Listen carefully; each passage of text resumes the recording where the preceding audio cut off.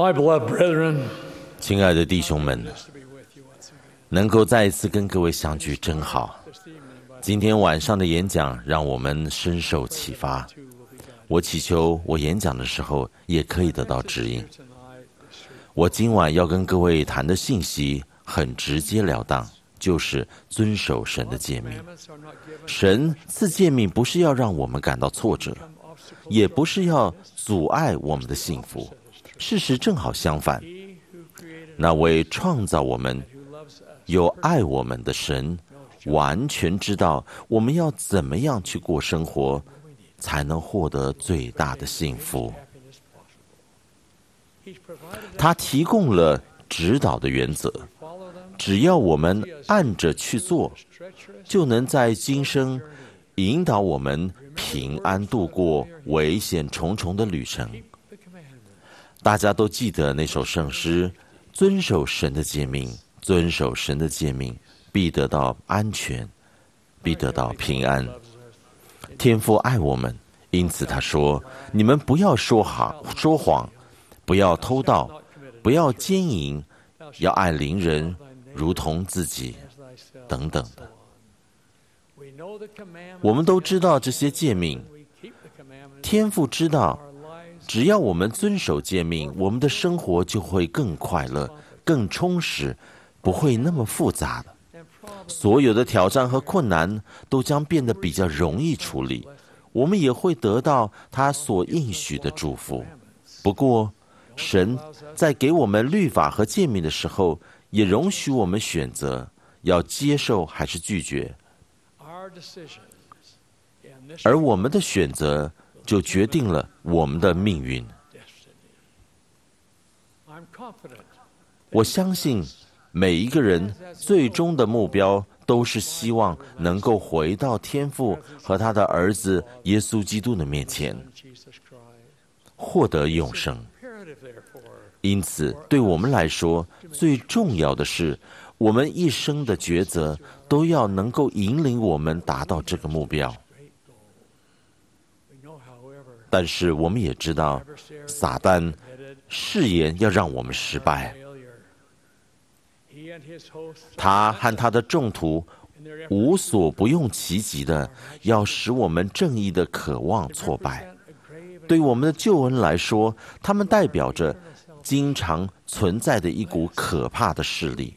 除非我们也同样的不屈不挠，下定决心，努力达成我们的目标。使徒保罗警告我们要警醒因为你们的仇敌魔鬼如同吼叫的狮子遍地游行寻找可以吞吃的人。虽然我们一辈子都免不了会受到诱惑。各位男青年你们现阶段正是一个最脆弱的年龄。青少年时期通常是不安定的，常常感觉到自己达不到期望，想要在同才之间找到自己的定位，又想要能够融入团体。你们可能会受到诱惑，要你们为了结交某些朋友，得到他们的认同，而降低你的标准，来附和大众。请你们要坚强要提高警觉注意任何会掠夺你们永恒祝福的东西。你们此时此地所做的选择在永恒中都很重要。我们在哥林多前书读到世上的声音甚多。我们周遭呢都充斥着许多诱惑的声音、迷惑的声音、藐视的声音、voices. 矫揉造作的声音，很令人困惑的声音。我称这些都是杂音。我劝各位关掉这些音量，转而聆听那个能够指引你们到达安全之地的微小声音。要记住，你们受洗后，一位持有权柄的人曾经把手放在你们头上，证实你们是本教会的成员，又对你们说：接受圣灵，要打开你们的心，甚至你们的灵魂，聆听那个为真理做见证的特别的声音。就像先知以赛亚应许的那样，你必听见有声音说：“这是正路，要行在其间。”愿我们一直都与灵和谐，能听到那个抚慰我们、指引我们的声音，来保护我们的安全。在我看来，对神的诫命怠忽不敬。已经招来了种种现代的瘟疫，随便讲几项，就有纵情任性的瘟疫、色情的瘟疫、毒品的瘟疫、拜德的瘟疫，以及堕胎的瘟疫等等。经文告诉我们，撒旦呢是这一切的创立者。我们知道，他是一位一切的谎言之父，欺骗和蒙蔽世人。我恳请各位要避开一切会剥夺你们今生幸福和来世永生的事物。如果你们任由撒旦摆布，他就会用欺骗和说谎的伎俩，把你们推下。滑溜的斜坡来毁灭你们，你们可能要等到站在那滑溜的斜坡上的时候，才会意识到已经停不下来了。你们都会听到魔鬼的信息，他诡诈的说：“就这一次不会怎么样的，大家都这么做啊，别老古板了，时代已经变了，这不会伤害任何人。你要过自己的生活。”撒旦认识我们，他知道有哪些诱惑我们很难不会去理会，所以我们务必要经常警醒，免得落入这类的谎言和诱惑之中。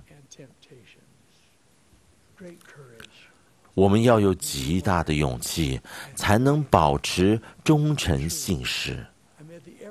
对抗周遭日益增加的压力和看不见的影响力，这些力量扭曲了真理，破坏了良善与优雅，并且试图以世人的哲理取而代之。假如诫命是人写出来的，人就有权凭一己之好或立法或任何其他的方式。来更改它。不过，诫命是神所赐的。我们虽然可以运用选择权来选择弃之不顾，但是我们却没有办法任意的去改变它。就像我们没有办法改变不服从和违反诫命所招致的后果一样。希望大家都能够明白。我们今生最大的幸福是来自遵行神的诫命和服从他的律法。我很喜欢以赛亚书第三十二章第十七节的话，他这样说的：“公义的果效必是平安，公义的效验必是平稳，直到永远。”这样的平安，这样的平稳，唯有来自公义。我们绝不可容许自己和罪恶扯上一丁点的关系。我们不可以相信自己可以违反一点点神的诫命，因为罪会伸出他的铁掌来抓住我们，非经一番痛苦的挣扎。根本没有办法摆脱的。